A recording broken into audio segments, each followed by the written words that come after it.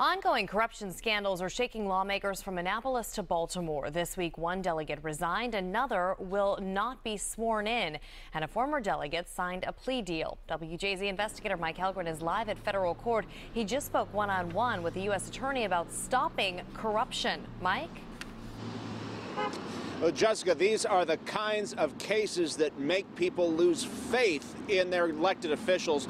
In one case, former delegate Will Campos accepted a, a, a, big envelope full of cash in a restaurant bathroom.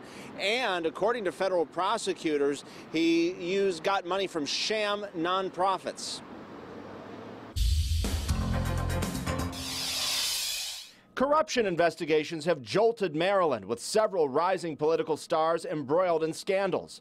One, an ongoing and massive federal bribery investigation, has already led to a guilty plea from former delegate Will Campos, a founder of Maryland's Hispanic Caucus.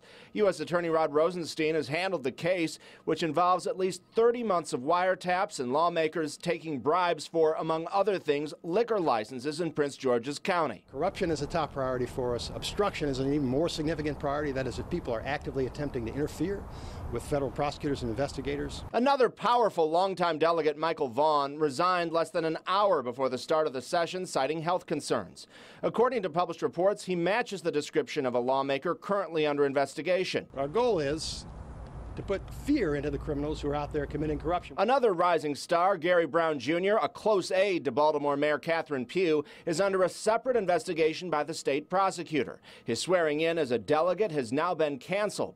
Brown faces an indictment he illegally funneled $18,000 to relatives, then into the mayor's campaign coffers, violating the limit for an individual donor. Brown still works for the mayor. I always stand on the side that people have the right uh, to, you know, if you're innocent until proven otherwise. Mayor Pugh answered questions about Brown for the first time and says she's reviewing her campaign finances. We raised uh, over $2 million.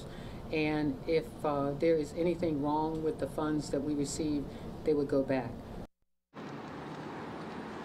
And Mr. Brown does face jail time if he is convicted, and he has yet to comment. Reporting live downtown, Mike Hellgren, WJZ Eyewitness News. Mike, thank you. Mayor Pugh says she has returned campaign donation checks in the past and will do so again if it becomes necessary.